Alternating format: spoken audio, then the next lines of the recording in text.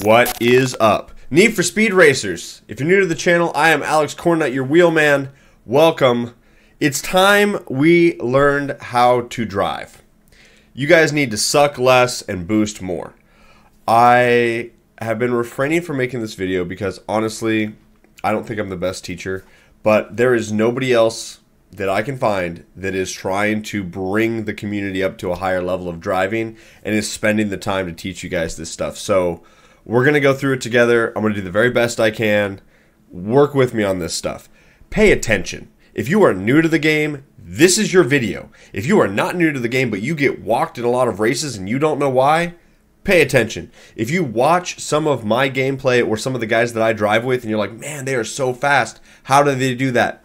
This is your video. Boost, yellow boost. The, the yellow bar that you create, that's its own mechanic, and nitrous is the blue bar, and that's just a little extra burst of speed. Cool. Nitrous, whatever. Boost is the most innovative mechanic that has come to a racing game in the last decade. I really feel like that. It's basically bullet time, but at full speed. You when you are in the boost window, like when you activate it and the bar's depleting, and you have that burst of speed, you have heightened grip, heightened sense of steering input. You can do things that are incredibly unnatural, super fast, a lot of fun, and you need to learn how to use it. Most everyone does not utilize boost correctly. There's like maybe 5% of us at the top end of the spectrum that know how to use it, use it correctly, get it going every lap, and that's why we are so much faster as a group than so many other players in the game. And I'm not on a high horse trying to like degrade anyone. But when I can go into a public lobby and we can all be using stock cars and I can DNF that lobby, there's a problem. So I'm here to teach you guys everything that I can so you can bring your skill level up and we're going to get everybody on the same playing field here. There is a huge gap between those that know and those that don't know. I'm going to touch on some stuff you might already know, but I guarantee there is a tip or a trick in here that you don't have yet and you need it. So let's go through it together. I'm going to do a lot of this video in the A Plus Skyline that I've got. It's a good little car. It's not too fast, so it allows me to kind of set up the micro drifts, set up the boost, and just show you everything that goes with that. So let's take it out on the track and get things going. We're over here at the Kennedy test track. Let me show you where it's at on the map. This is basically track day special. It is just to the northwest of the S Plus playlist. So there's the regular kind of circle oval track there with some extra turns, and then there's this one. This is the best place that I know on the map to practice this, and so I would encourage you guys to go here for a couple of reasons no traffic, no cops. Very rarely are there other players. So you can sit here and work on this for as long as you want, and you're not going to be negatively affected or be getting in police chase. Now we're going to do this three times because I want to show you guys how boost works. So the first time, we're going to go through this. This is just a long right hand corner. The reason I like this corner is because it gives you a three bar grip turn at the end of it. I'm going to go to the top of this hill. I'm not going to use boost. I'm in fourth gear, 120 mile an hour, and I'm just turning. Okay, we went wide and we hit the wall. That was just full steering input, full speed. That's what the result was. Now let me do that again and show you what it looks like when we use boost to make that corner. We're going to do it again. This time I'm going to hold my boost up the hill and I'll show you guys how to do that here in a minute, but we got to learn what boost does first. So I'm using a little nitrous to get up to speed through this corner. Long right-hander. Fourth gear. Three bar of boost keeping that. We're about 120-ish. And then I used boost and I turned. Now, we accelerated harder because I used boost and we didn't hit the wall. We did spin out a little bit because this car's a little bit rowdy, but our turn was tighter because we had activated boost in that corner. Now let me show you what boost with just a little bit of brake does in that same window. We're going to do it again. We're going to use our boost this time, and we're going to use a little bit of brake to tighten up our corner while we're boosting. If you use brake after you've hit the boost, it doesn't work as good. And if you use it before, it also doesn't work as good. So you kind of need to use brake and boost at the same time. Watch the button inputs. And you'll see that we got a grip turn at the end of that. All we're doing is activating boost and then immediately applying brake and by doing that it's tightening up our corner but because we're still in the boost window we've got heightened sense of grip and it allows us to tighten it up. I do want to be abundantly clear. This is not the best car for this. This thing's actually a little bit rowdy and it's not nearly as grippy as other cars and so it's a little tougher to use these techniques. But for the sake of the video, I wanted to not use the very best car because I want you guys to work on this in whatever car you like because this is a mechanic and a technique that applies to all cars in the game. Some are better than others, but at the end of the day, if you know how to do it, you can do it in anything. Now let me show you what a Tron turn looks like. Alright, we're going to work on a Tron turn. They called it a Tron turn from the movie because when they were on the little motorcycles, when they would turn really fast, it was a sharp trail that got left behind the car and it kind of does the same thing with the trail of the taillights.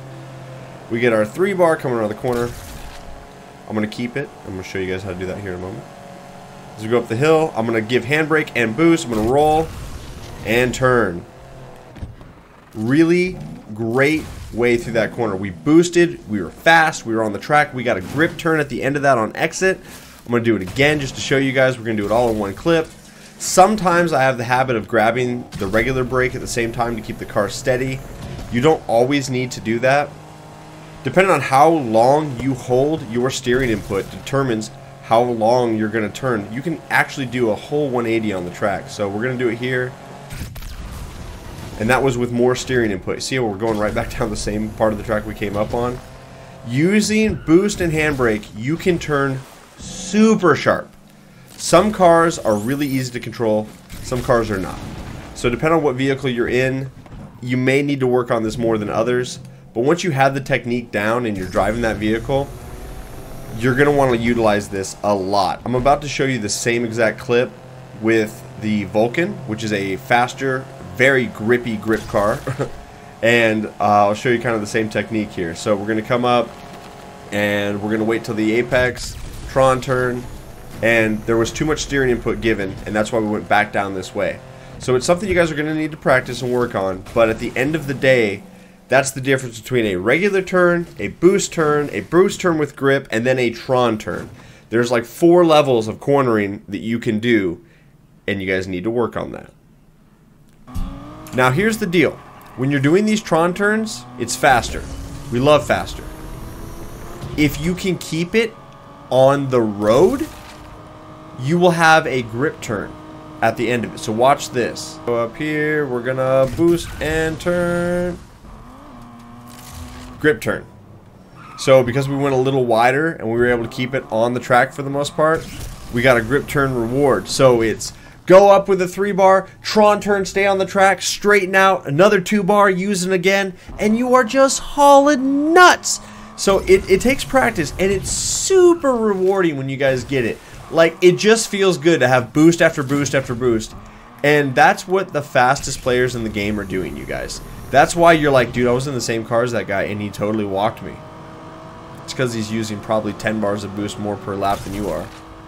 So let's try it again. We've got our boost. We're saving it. I'm going to use boost and handbrake and a little bit of turn. There's our grip turn. We'll use it right here. Check this out. We're going to get another grip turn. And when we straighten out, we're going to have a three bar. And we're going to use it immediately. You see how that works? You can chain that stuff together. And so we're going to wiggle a little bit. We're going to save. And we're going to Tron turn a little bit. That's going to be a grip turn. Two bar. Use it and accelerate. I was going to do one more clip at the test track, but this link up has popped up. And I'm not going to ruin my day with a link up. So we're going to go work on a technique somewhere else. Let's go work on hard 8. That'll be a good spot.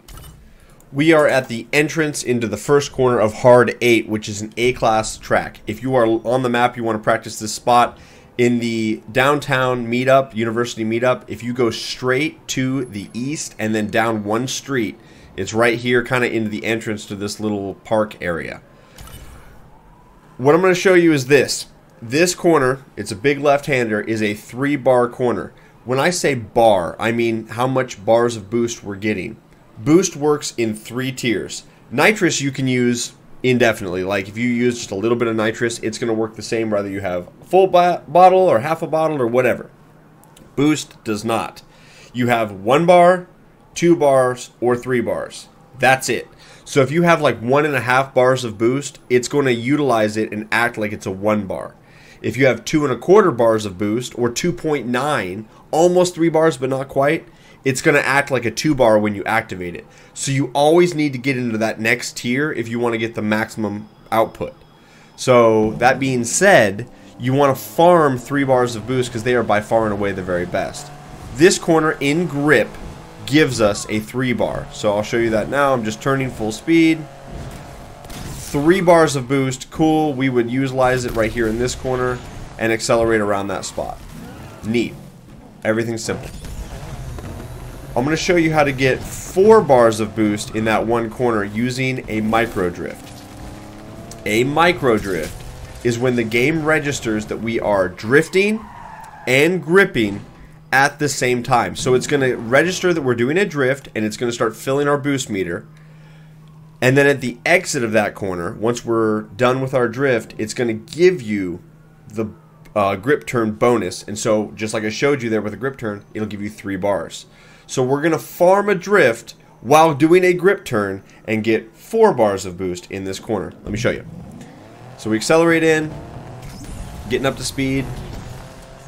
Third gear is about right. I'm going to start turning. I'm going to tap the brake, start turning. Cool, I got one bar of boost. I'm going to hold out that grip turn, three bar of boost. So in that same section that we just did earlier, we got four bars of boost instead of three. We accelerated out of the corner faster.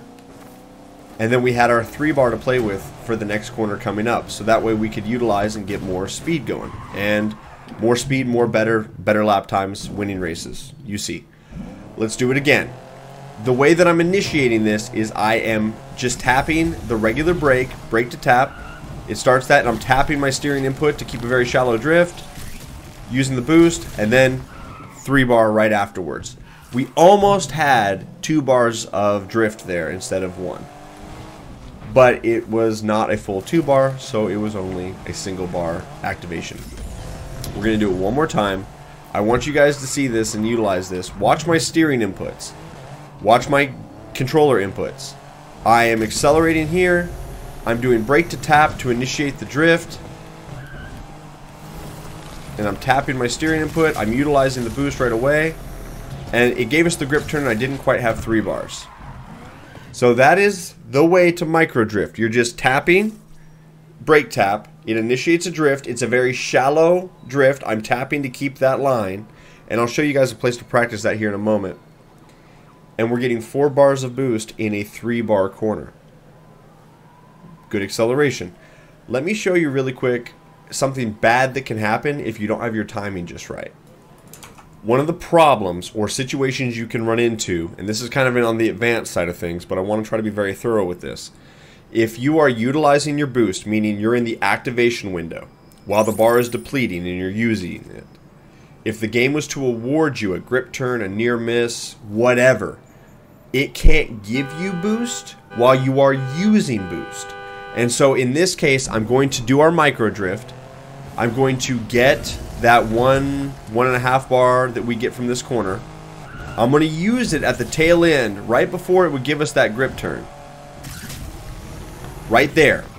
And so instead of us getting our three bar for the grip turn, because I was using boost at the same time that it would give it to us, we get nothing. And so I just robbed myself of a three bar of boost for this next corner because I activated it too late.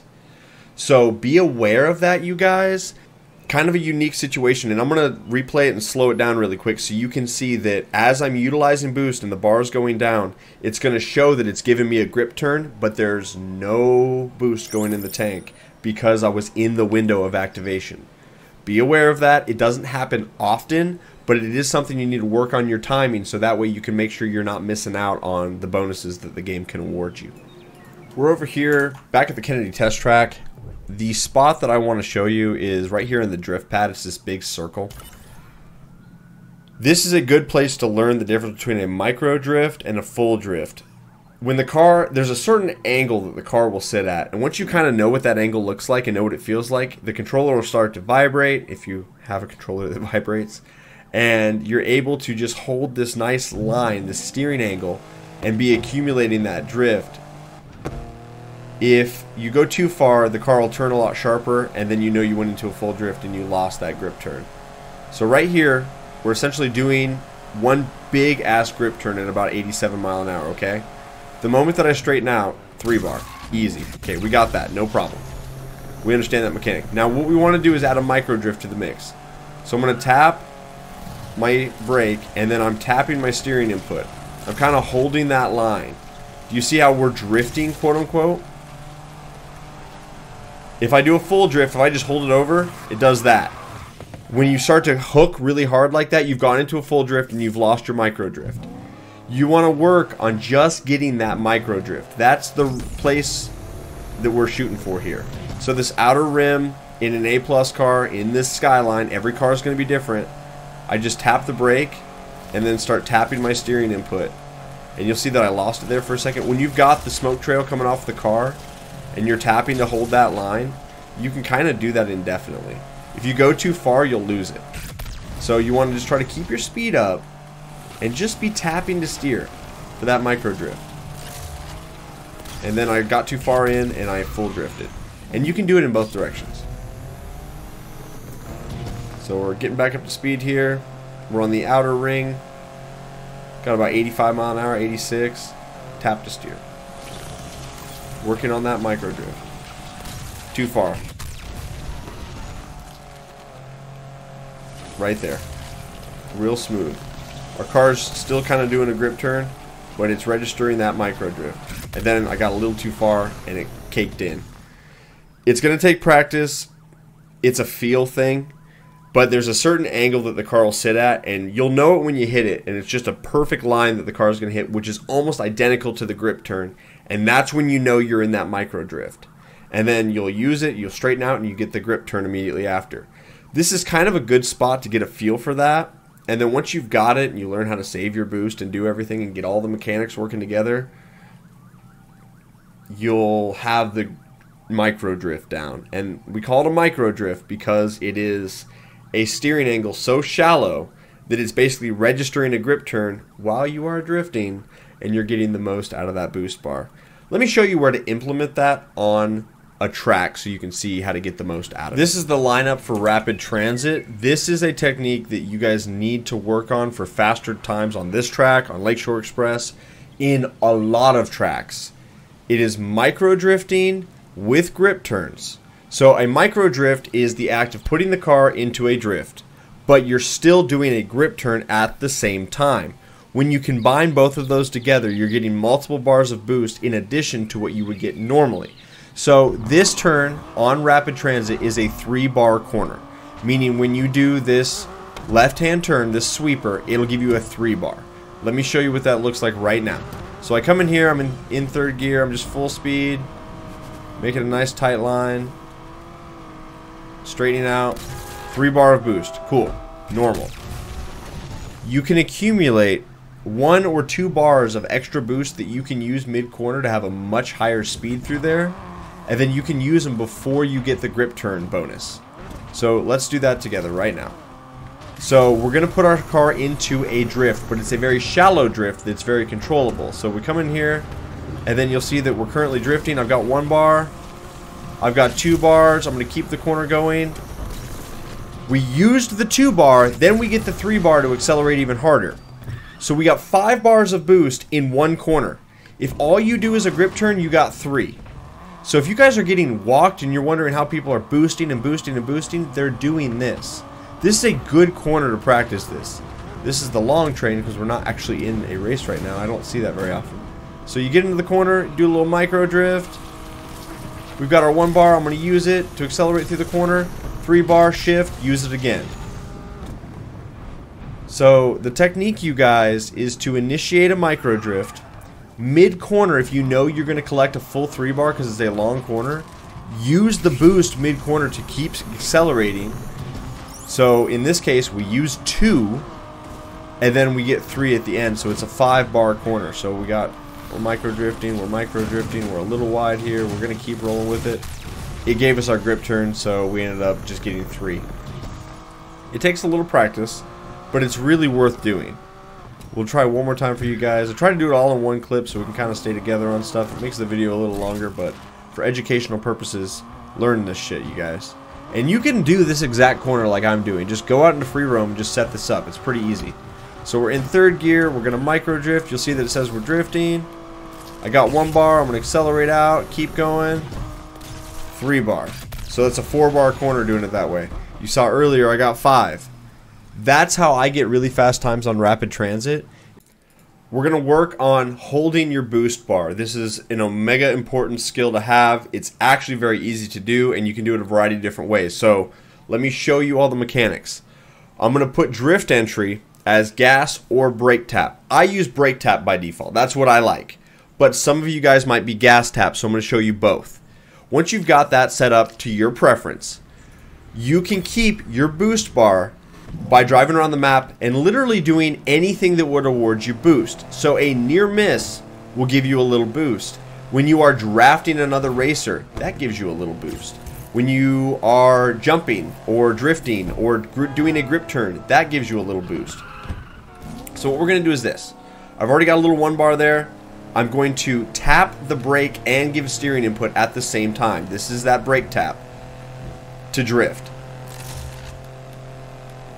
I'll do it again. It's a little longer one. Straighten out, grip turn. Cool, we've got our three bar. I'm going to hold that three bar as long as I can. All I'm doing to keep it is when the bar starts to drop, I'm turning and tapping the brake at the same time. It's dropping again. Tap and turn. Brake tap and turn. Brake tap and turn. You'll see that it's counting me about a half second of drift to do that. Now, you can do other things too. So there's a car coming up here. I'm going to let the needle start to go down, get a near miss. It tops the needle back up. Anytime you would do any skill in the race that would give you a little bit of boost, it's going to top up that bar again. So I'm going to let it start to fall, get a near miss, tops it back up. I'm going to do a little tap to turn there, little brake tap. Now, if you are gas tap, you're going to double tap your gas and turn. So I'm doing two quick taps on the gas and turning. Two quick. I'm not very good at it. There it is again. You'll see that I'm just turning and basically doing gas tap. Now right there I did brake tap because that's uh, my habit. But the point of the video right here, the point of this clip is to show you that just by tapping the gas and turning, you can also do that drift. And it's just a little half second drift while you're kind of going in a straight line.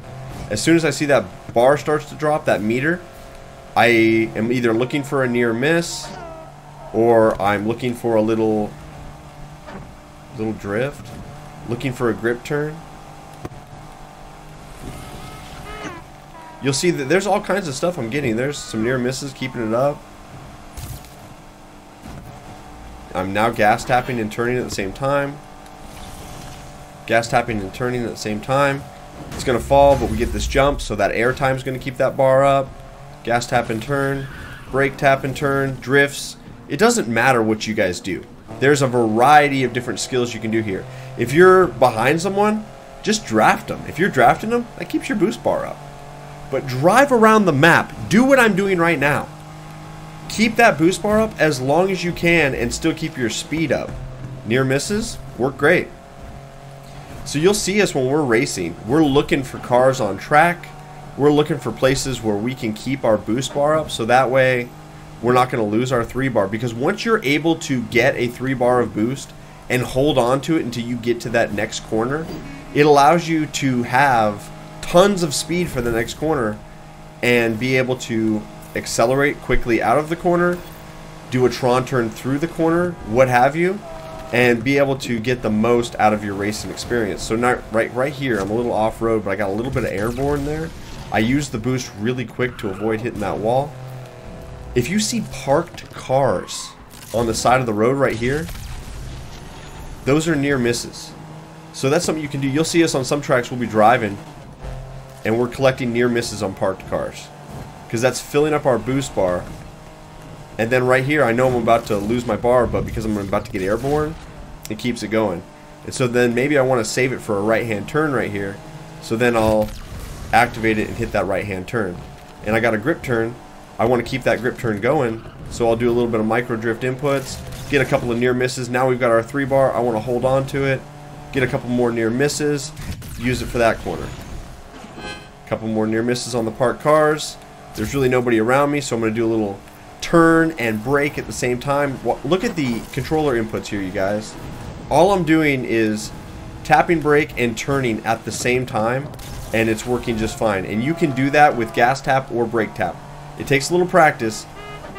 You need this. This is probably one of the most important skills to have to be fast and consistent.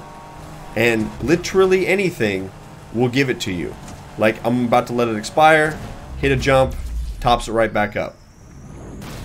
I can hold my boost as long as I want. If I made a competition to see who could hold boost the longest, the advanced players would go for probably an hour or more without losing it. It's not hard to do, but it does take practice. So just look at the steering input. See, gas tap, I'm not very strong at it. I, you got to be applying steering input while you're doing that. I'm going to try to do, do gas tap here.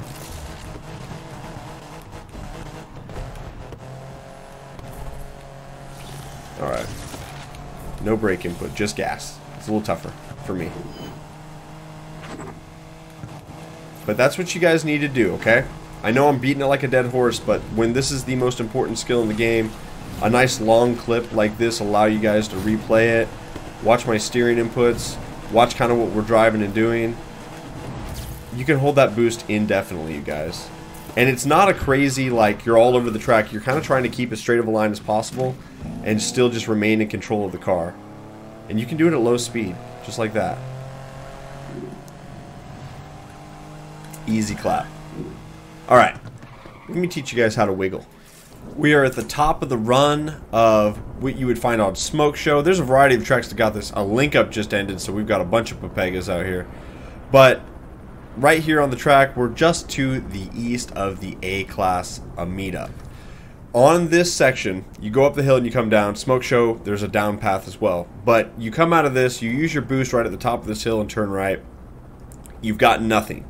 You're coming up on a very sharp left-hand, like, U-turn. You need to have boost for that corner. I'm going to show you how to build boost in a pretty much straight line, and it's called a wiggle. We wiggle because you are chaining together a bunch of small grip turns and it's basically giving you all of those and then it awards you all of them combined once you straighten out. Let me show you what it looks like. It's pretty cool. So we're accelerating down. I'm going to start to turn like this. Keep it in basically one lane. Straighten out. Three bar. Come into this corner, hit the three bar, and turn. It's pretty tricky. Did you know you could do that? A lot of people don't. So when you want to build boost in a straight line, you're coming up on a corner, you start to wiggle. And then when you're ready for it, straighten out. Right there was only a two bar. But then I'm going to use that technique of just tapping the brake and turning and keeping it up. Let's use it to accelerate down this hill. So we just used our boost. We're in a straight line. We're racing with our other homies. Things are getting spicy. Gonna wiggle. Straighten out. Two and a bunch of bar. Micro drift, get the three bar. Hook into that corner. Now we're zooming on Smoke Show. It's all about knowing how the mechanics work so you can get as much boost as possible to be as fast as possible. The wiggle is the move. You can combine that with the micro drift technique and get even more boost from it. So instead of just turning in the straight line, I'm going to combine that with tapping the brake when I turn, just like when we're trying to save our boost, but I'm going to wiggle at the same time. And using both of those techniques, we can get even more boost. So we're coming down the hill. Now let's tap and turn. And we're going to let that wiggle get added to that drift that we had. And now we're guaranteed a three bar. Do the same thing back up the hill. So I'm going to brake tap and turn.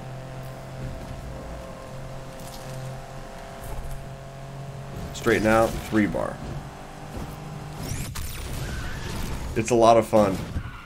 So in a straight line, coming into a hairpin corner. Man, we know we need that three bar. We need it. We're in first place. There's nobody for us to draft. There's no traffic for us to get near misses on. Better for you to tap the brake or the gas in a straight line and wiggle a little bit. Are we going as fast as we would if we were like top speed? No. But when we straighten out and we've got our boost, we can go into this corner and then utilize it in that corner and get a really good exit and use all of our boost to accelerate. Work on that. Work on the wiggle. Every car is a little different, but once you understand that and you know how to hold it, going into the corner, you wiggle right before you get there, give yourself a couple of boost bars, boom, you're through the corner as fast as you can, you get a grip turn on exit. Now we're zooming, ladies and gentlemen. Let me show you how to chain all of that together. Let's combine all of the skills that we've now developed. We're going to save our boost. We're going to use grip turns. We're going to use micro drifts to save it. We're going to micro drift in the corners to build bars of boost while we're turning. And just go fast. We are on Smoke Show. There's a little left-hander right here, so I'm going to tap the brake and turn. It's going to give us a little bit. We're going to start saving it as we go up the hill here. I'm not going to let that bar drop. As we come to the top of this, I know that I want to use it to get a good run down this hill. Going to use that with all of my nitrous. Okay, we're coming up on a left-hander. I'm going to start to wiggle. Straighten out. Almost a three bar. Going to micro drift. Wait till I'm at the peak. Use that. Grip turn on exit. That's two bar. I'm going to save it. Get it up to a full two bar. We're going to use it right here and get a nice grip turn and straighten out. And then I'm going to use a little bit of a micro drift to get the full two. Then accelerate. Got another grip turn. Going to save it. We're going to turn. Get another grip turn here from that. There's another bar. We're going to use it right here immediately. Get a little micro drift while we boost. I'm tapping the brake and doing a micro drift while we turn and I'm using the boost to maximize how much we're getting from it. That was a long grip turn. I'm going to save it. I need it for this corner. This is a great place to use it. As I come around this corner, I use it, boom. Now we've got a great run down the hill. I'm already kind of wiggling. Cool, we've got our two bar. I'm saving it. Little bit of wiggle action. Straighten out. Almost three. Micro drift in. Small Tron turn out. Straighten out. Grab a near miss. Didn't quite get it. We got our two bar. We're saving it. We're saving it. We're going to use it right there. Should get a grip turn. It's a two bar. Cool. We're going to use it right there. Should get another grip turn. You guys see how this is all working? I've got boost in every corner because I'm chaining all of my corners together. I'm chaining my abilities. Grip turn after grip turn. I use the boost in the corner and it accumulates another grip turn. And then I'm saving it for the next corner and then I'm using it immediately. We're coming up the hill. We've almost got our three bar. We need to save it for that downhill so we can get a good run on our opponents. We're coming up on it. Boom. I'm already going to start to wiggle a little bit. I'm chaining grip turns right now, you guys. Straighten out. Three bar. Come in here, wait till we're at the apex. Turn with a Tron turn. Now it gave us our grip turn while we were in the middle of that activation window. So we lost it like I showed you guys earlier. That'll happen. Three bar. Hit it around the corner. I didn't do any braking input. We got a little squirrely because this car's crazy. Dead. That is something that you guys can get to. That's the goal that we're working towards.